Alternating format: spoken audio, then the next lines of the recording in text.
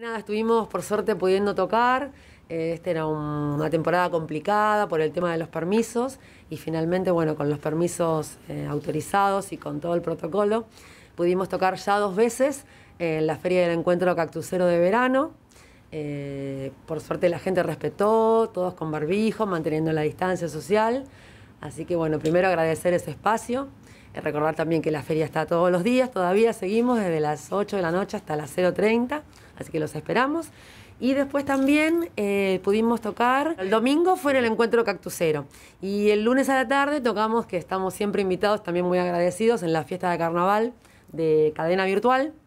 Tocamos en el balneario Punta Ignacio y también con re linda repercusión se habían largado unas gotitas. Y, siempre peleando contra el clima. Contra el clima. Que en un momento tuve que tapar todo con una campera así. Mientras tocaba, tuve que tirar una campera para tapar los equipos porque estaba. La verdad que quedamos felices porque la gente se reprendió, incluso un par de personas se acercaron para saludarnos, este, también con su distancia, ¿no? Mandaron fotos. nos mandaron fotos que nos sacaron, nos etiquetaron en sus historias, agradecernos por pasar un lindo momento y la verdad que está bueno porque ya todos sabemos lo que fue el año pasado para todos y poder brindar un poco de alegría y que la gente que pudo juntar su pesito para poder para elegir la costa como destino turístico este fin de semana largo que se lleve una alegría y se pueda divertir un rato la verdad que a nosotros nos llena el alma los compañeros de la feria no, no nos conocían así que también fue fue lindo poder compartir también con ellos ese ese encuentro, digamos. Pleno yo llevando los equipos de acá para allá. Esa es la parte que detesto.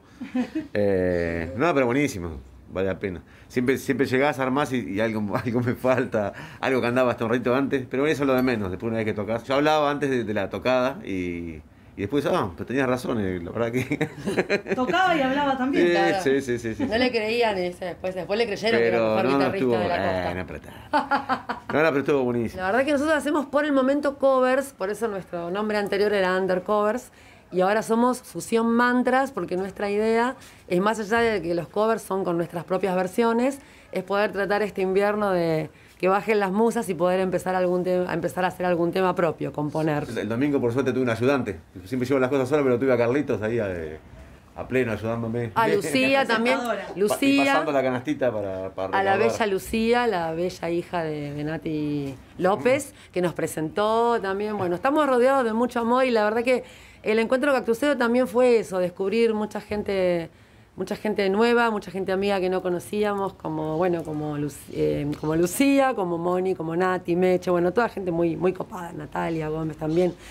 Así que bueno, y con respecto a la música, eso, nada, seguir y agradecer siempre a todos los que piensan en nosotros y nos dan esa oportunidad de hacer lo que más nos gusta hacer, como fue Marcelo con la virera cultural.